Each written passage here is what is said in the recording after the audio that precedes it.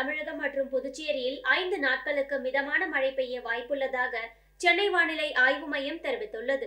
இது தொடர்பாக வானிலை ஆய்வு மையம் வெளியிட்டுள்ள அறிக்கையில் வெப்பசலனம் காரணமாக வரும் இருபத்தி ஆறாம் தேதி வரை தமிழ்நாடு புதுச்சேரி காரைக்கால் பகுதிகளில் ஒரு சில இடங்களில் மிதமான மழை பெய்யக்கூடும் என தெரிவிக்கப்பட்டுள்ளது. சென்னையை பொறுத்தவரை வானம் ஓரளவு மேகமூட்டத்துடன் காணப்படும் என்றும் நகரின் ஒரு சில இடங்களில் இடி மின்னலுடன் கூடிய மிதமான மழை பெய்யக்கூடும் என்றும் வானிலை மையம் தெரிவித்துள்ளது.